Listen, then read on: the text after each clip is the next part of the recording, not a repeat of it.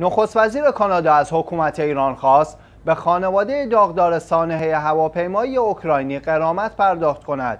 به گزارش شیوز به نقل از ایسنا جاستین ترودو نخست وزیر کانادا از پرداخت 25 هزار دلار به خانواده جانباختگان پرواز تهران کیف خبر داد و از ایران خواست تا هرچه زودتر به خانواده داغداران قرامت بپردازد.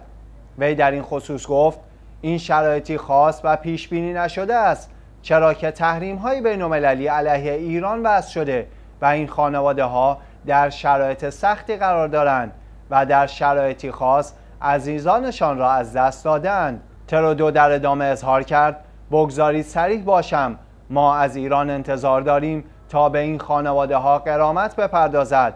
من با این خانواده ها دیدار کردم و باید از آنها حمایت شود.